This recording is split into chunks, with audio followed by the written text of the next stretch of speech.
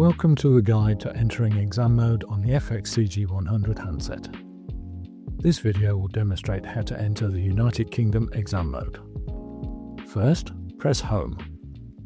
Then either scroll to exam mode and select, or use the shortcut. In the exam mode manager, scroll right from Enter exam mode. Two choices to enter exam mode are displayed. Select United Kingdom pop-up appears and asks you to confirm that you want to enter the United Kingdom exam mode. Choose OK or scroll and cancel. A warning now appears regarding use in IB diploma exams. Choose OK again or scroll and cancel.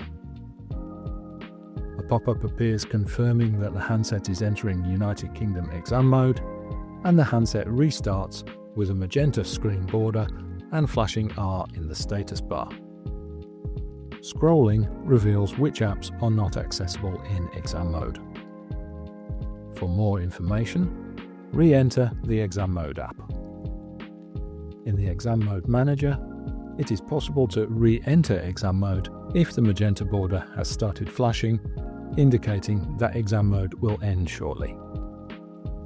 Selecting exam mode help gives more details on exam mode restrictions or guidance on how to exit exam mode. The elapsed time in exam mode can also easily be viewed.